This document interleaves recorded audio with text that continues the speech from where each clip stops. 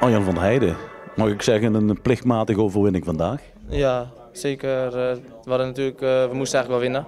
Na twee verliespartijen plus de beker is het lekker om nu eh, weer te winnen. En jij in een van de opvallendste spelers vandaag, vond ik. Ja, ik denk dat in de tweede helft iedereen eh, de hele aanval goed eh, was. Dus eh, ja, ik moet gewoon kans creëren en eh Ven- Vente laten scoren, Postema en ook zelf scoren en assist geven. En dat probeer ik gewoon zoveel mogelijk te doen. Leg die corner eens uit die je, die je nam, waar dat doelpunt uitkwam. Nou, we- ik draai hem bij de eerste paal in. Hij wordt volgens mij nog wel aangeraakt, maar hij is mijn lijn, dus maar gewoon mijn goal. Ja, het was eh, geen verkeerde goal, moet ik zeggen. Dan maak je ze vaker. Nee, zo ga ik ze niet vaker maken, denk ik. Maar het is lekker dat je nu scoort en dan eh, zo die goal maakt. Met corner eh, de 1-1 maakt en dan komen ze met 10 man te staan. Dan is het iets makkelijker als je dat goed uitspeelt en dan maken we het af in de tweede helft. Ja, met name moet je de spitsen bedienen.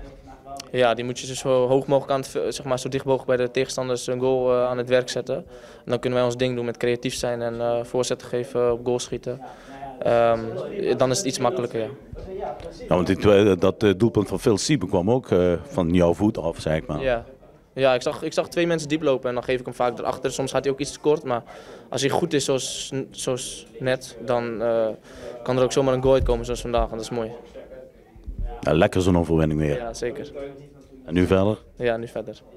Maandag Jong AZ, volgende week maandag.